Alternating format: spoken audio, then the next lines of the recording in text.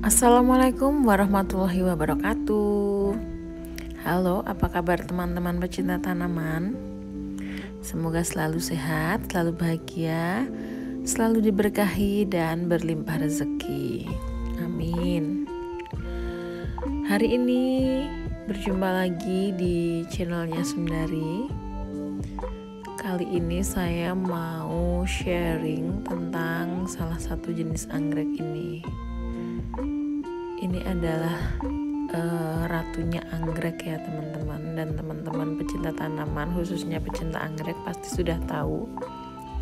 Iya, ini adalah Cattleya mantini. Tapi sebelum kita membahas lebih lanjut tentang Cattleya mantini ini, teman-teman boleh subscribe dulu ya ke channel ini, lalu hidupkan lonceng notifikasinya supaya tidak ketinggalan video-video saya selanjutnya. Dan juga like, komen, serta share sebanyak-banyaknya supaya channel ini lebih berkembang dan bisa berbagi video-video yang bermanfaat lainnya. Terima kasih. Kembali lagi ke Cattleya mantini.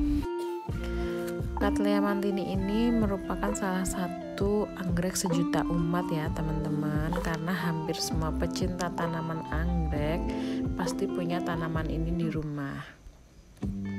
Selain karena memang mudah dirawat, anggrek ini juga memang mudah hidup, mudah beradaptasi walaupun di habitat aslinya anggrek ini adalah anggrek epifit ya jadi dia habitat aslinya itu si Cattleya mantini ini hidup menempel pada pohon-pohon besar. Tapi dia juga tetap bisa hidup walaupun kita menanamnya di pot dengan media tanam arang, pakis cacah ataupun sabut kelapa.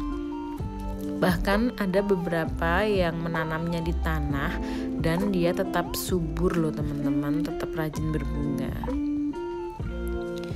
Uh, mantini ini dia tidak terlalu suka dengan sinar matahari langsung sepanjang hari. Jadi mereka itu lebih senang mendapat sinar matahari pagi selama 4 sampai 5 jam. Dan bisa biasanya uh, kalau dia terlalu banyak sinar matahari itu daunnya akan berwarna hijau kekuningan. Sebaliknya kalau sinar mataharinya cukup atau sedang saja, tidak terlalu panas, nanti daunnya itu bisa berwarna hijau gelap. Dan Cattleya mantini ini ternyata adalah uh, jenis anggrek hybrid atau anggrek silangan. Cattleya mantini ini silangan dari Cattleya dowiana dan Cattleya browringiana. Cattleya dowiana ini berasal dari Costa Rica, sementara Cattleya browringiana ini dari Guatemala. Sama-sama spesies dari dataran rendah, tapi silangannya ini bisa hidup di dataran tinggi sekalipun. Nah, teman-teman bisa lihat bunganya cantik sekali. Uh, memang dia ini bunganya bunganya uh, besar ya. Nah, sebesar ini. Kelopaknya juga lebar. Jadi uh, julukan untuk si Cattleya ini memang Queen of Orchid atau ratunya anggrek.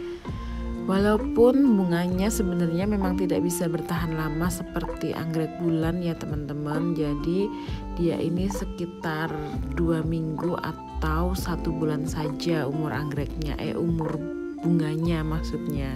Umur bunganya hanya 2 sampai satu bulan.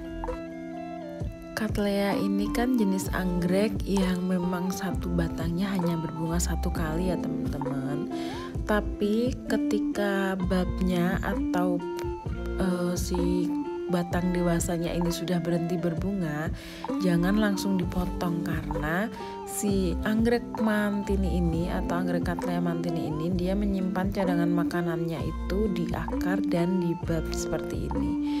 Jadi walaupun dia sudah tidak berbunga, sudah selesai berbunga, tapi dia masih akan menyimpan cadangan makanan untuk membesarkan tunas-tunas mudanya. Nah, ini jika kalian ingin memperbanyak si Cattleya mantini ini, itu disarankan minimal tiga bab seperti ini ya. Ada satu tunas muda dan dua bab dewasa yang memang sudah selesai berbunga yang akan menyimpan cadangan makanan untuk membesarkan si tunas muda ini. Ini saya akan kasih contoh ke teman-teman uh, menanam Cattleya mantini di pot dengan media arang. Sebenarnya cara tanamnya mudah, sama seperti kalau kita menanam anggrek yang lain, anggrek pada umumnya ya uh, yang penting akarnya juga tidak tertimbun semua dan usahakan menjaga kelembapannya kalau kalian memang uh, tidak terlalu suka untuk menyiram anggrek kalian bisa memakai media tanam cacah pakis atau moss putih atau akar kadaka. Tapi kalau kalian memang seneng-senengnya nyiram setiap hari bahkan mungkin kalian bisa pakai media tanam arang ini supaya uh, menghindari busuk akar ya. Dan kalau memang tidak bisa berdiri dengan tegak si anggreknya ini kalian bisa bantu dengan penyangga kawat seperti ini Oke, sekian video dari saya hari ini. Terima kasih untuk teman-teman yang sudah menonton sampai habis.